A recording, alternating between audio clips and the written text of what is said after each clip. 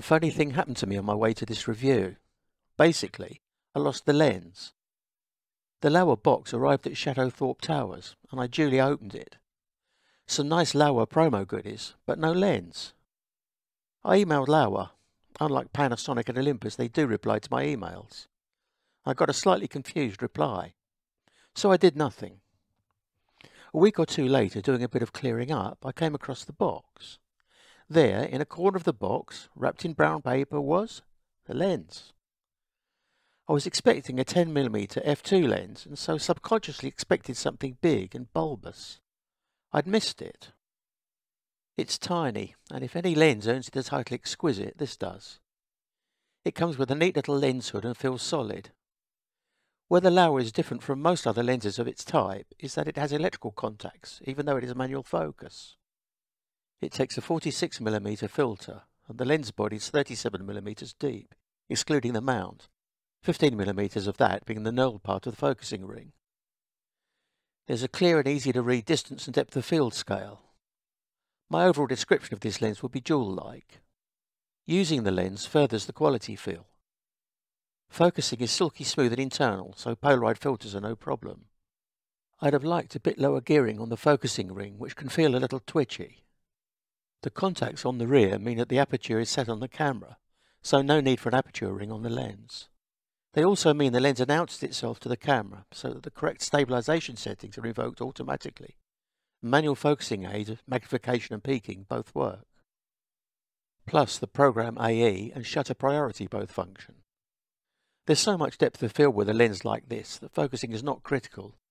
But turn on focus peaking or magnification, it's a cinch whatever your skill levels. It's hard to test the performance of a lens during lockdown. I don't much like charts, but I've used one here at a shooting distance of about 1.2 metres, or 4 feet, as you would when photographing a person in their surroundings.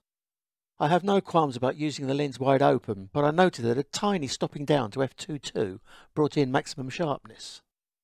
That's true of many lenses, but it's usually more like a stop for the best results. The stopping down is really only necessary if you are making very big prints, or a pixel peeper.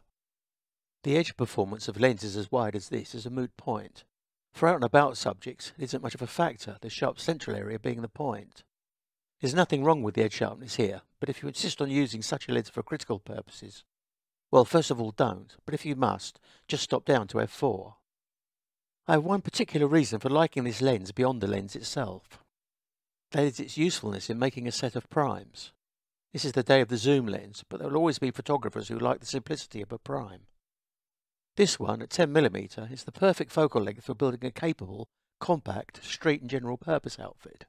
I work on the basis of roughly doubling the focal length of each lens for a set. So, 10mm, 20 or 25 and 45mm. Those three lenses, along with a small camera body, yield a combination of size and image quality, which will cover any everyday need from architecture to portrait, and all with good dim light capability to keep the ISO down or the shutter speed up. You could sacrifice speed for versatility and replace the 25mm with a Panasonic 12-32 zoom. Though given the size and weight of the zoom, you could just carry it with you anyway. All in all, another very useful contribution to the Micro Four Thirds arsenal, especially when neither Olympus or Panasonic make a 10mm prime. Given the electrical contacts on this lens, I wonder if Laowa would consider making an autofocus version. Just thinking aloud. Thanks for watching.